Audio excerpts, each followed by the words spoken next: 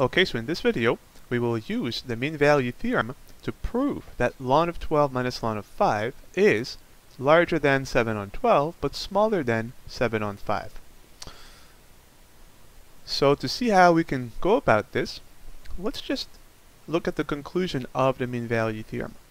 And the conclusion is that f of b minus f of a over b minus a will equal to the derivative of f at some point c, where c of course lies between a and b.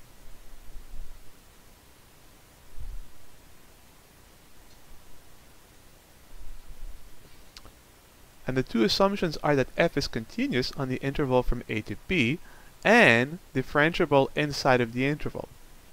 So the only question is, if we're going to use the mean value theorem, what is the choice of a, the choice of b, and the choice of the function? Well, if we look here, we have ln of 12 minus ln of 5. This looks a whole lot like the numerator of the left-hand side of our equality. So the function seems to be quite simply ln of x,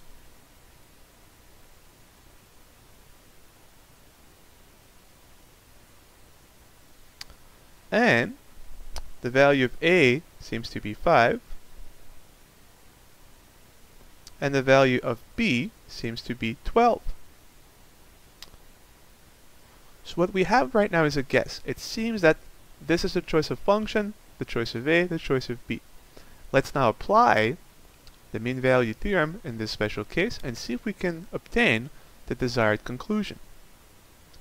Well, we will need the derivative the derivative of ln of x is of course 1 over x. And so the derivative of f at c, replacing x by c, will be simply 1 over c.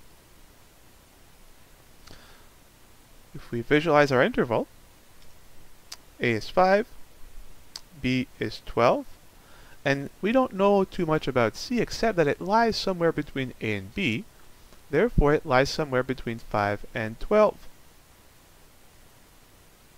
So c is larger than 5, but smaller than 12. Let's now plug in to this equality, this special case. So f of b, ln of 12, minus f of a, ln of 5,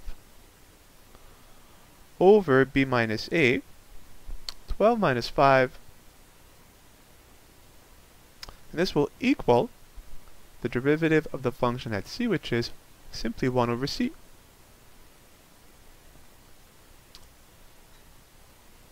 Well, let's simplify this by simply noticing that 12 minus 5 is 7. So we have that the ln of 12 minus the ln of 5 over 7 is equal to c, to 1 over c, sorry. And now, we can have an upper and lower bound for c if we simply invert across both inequalities. If 5 is less than c, then 1 over c, 1 over 5, is bigger than 1 over c. And as c is less than 12, 1 over c will be bigger than 1 over 12. But now, we have an inequality, or I should say an upper bound and a lower bound for 1 over c, but 1 over c is equal to this. So whatever is true of 1 over c is also true of this expression. So we can replace in here 1 over c by ln of 12 minus ln of 5 over 7. And I will of course rewrite this in the more natural direction, which will be that 1 over 12 is less than 1 over c, which in turn is less than 1 over 5. And now I make the substitution, replacing 1 over c by this expression. So what I have now is that the ln of 12 minus the ln of 5 over 7 is less than 1 over 5,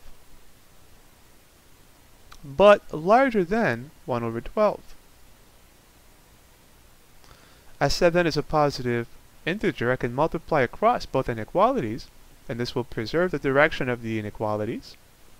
So I will have on the left 7 over 12 is less than, if I multiply this by 7, the over 7 goes away. So we're left with ln of 12 minus ln of 5 will be less than 7 times 1 over 5, 7 over 5. So the conclusion is that ln of 12 minus ln of 5 is larger than 7 on 12, but smaller than 7 on 5. And if we go back up, this was exactly what we hoped to prove, using, of course, the mean value theorem. And that's it.